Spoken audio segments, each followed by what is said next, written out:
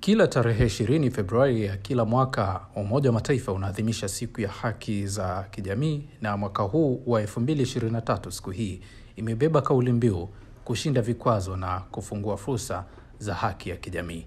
Mkurugenzi mtendaji wa ILO Gilbert Hungbo katika kuadhimisha siku ya kimataifa ya haki ya kijamii anaelezea kwa nini mkazo zaidi kuhusu haki ya kijamii ni muhimu kwa ufufuaji endelevu na kwa nini unahitajika muungano wa kimataifa wa haki ya jamii ili kuhakikisha kwamba njia na hatua zinazohitajika zimeunganishwa katika ngazi zote za utungaji sera. Today, we mark the World Day of Social Justice. Bwana Hongbo anauanza ujumbe wake akieleza kuwa siku hii ya kimataifa ya haki ya kijamii ya mwaka huu inaadhimishwa katika kipindi kigumu, akitaja sababu mbalimbali mbali ambazo zimerejesha nyuma haki ya kijamii kama vile janga la COVID-19, migogoro ya siasa za kijiografia, janga la kiuchumi.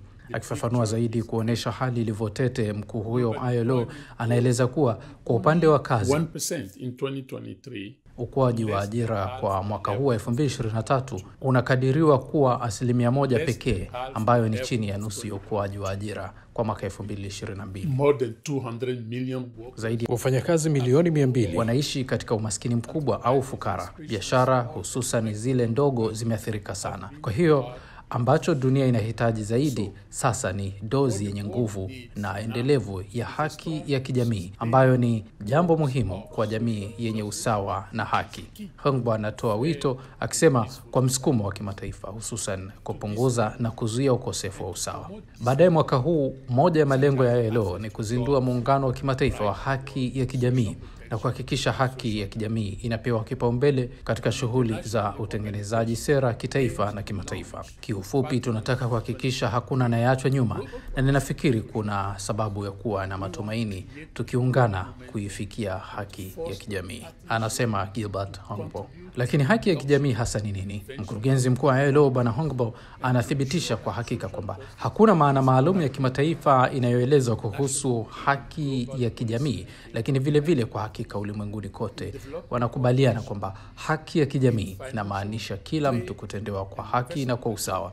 Hii ni pamoja na kupata fursa sawa, haki za binadamu na manufaa ya ukuaji bila kujali kabila, jinsia, dini, mwelekeo wa kijinsia, umri, ulemavu au nafasi ya kijamii na kiuchumi. Mkuu huyo wa ILO anafafanua zaidi akisema kwamba kwangu mimi jambo muhimu sana ni kupigana dhidi ya ukosefu wa usawa, ubaguzi, kuhakikisha kila mwanadamu anapaswa kupata fursa sawa. Ufikiaji sawa wa fursa kwangu ni muhimu sana katika haki ya kijamii, na kwa hiyo kuwa na kazi ya heshima na kazi yenye kuzingatia utu. Watu hawaombi zaidi ya hayo, kuwa na ulinzi mdogo tu, upatikanaji wa maji na usafi wa mazingira, upatikanaji wa elimu, kuwa na uhuru, sauti ya kueleza kile ambacho mtu anahisi au nia ya kufanya kazi kwa usalama naweza kuendelea zaidi na zaidi, anasema mkuu huyo wa shirika la Umoja wa Mataifa la kazi ulimwenguni. Ajenda ya haki ya kijamii inalenga kuondoa ubaguzi wa ukosefu wa usawa, inakuza utu wa watu wote katika ulimwengu wa kazi. Hiyo inamaanisha kazi za heshima, mishahara ya kazi, haki za kazi, majadiliano, usawa na ulinzi wa kijamii kwa wote. Kwa ufupi, haki ya kijamii inawezekana tu pale ambapo vikwazo vyote ambavyo watu wanakumbana navyo kulingana na jinsia, rangi, kabila, dini, utamaduni au ulemavu vimeondolewa.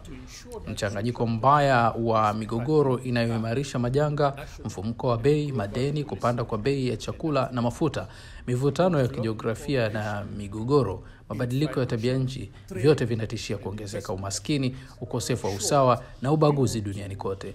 Pia vinachochea mivutano ya kijamii. Hata hivyo, wakati watunga sera wanazingatia haja ya maendeleo katika masuala ya kiuchumi na mazingira, uangalizi mdogo unaelekezwa kwa nguzo ya tatu muhimu kwa ajili ya kurekebisha hali ambayo ni maendeleo ya kijamii. Thank you so much.